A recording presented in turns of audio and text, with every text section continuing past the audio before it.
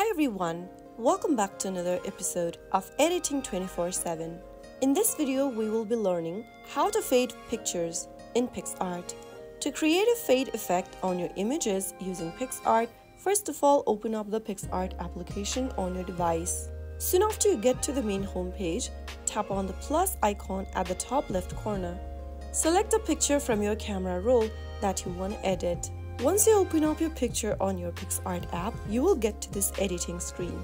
Go to the bottom menu and then tap on Tools. From the Tools option, click on Dispersion. Select the size of your dispersion brush and brush around the area that you want to fade, as shown on the screen. After you are done brushing around the area, tap on the arrow at the top right corner. You will then be able to apply the dispersion effect. As you can see that, it has slightly faded the selected area. Go to the bottom menu and drag the stretch slider in order to stretch the fade effect or the dispersion effect on your image.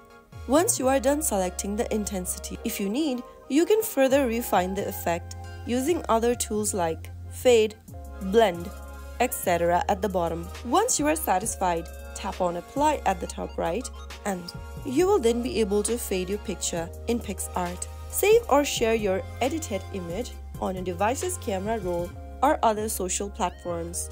That's how you can easily fade pictures in PicsArt. If you found the video to be helpful, go ahead and give us a thumbs up. Don't forget to subscribe to our channel by hitting the subscribe button.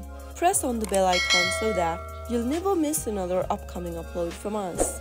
I will be back again in the next video. Thank you for watching.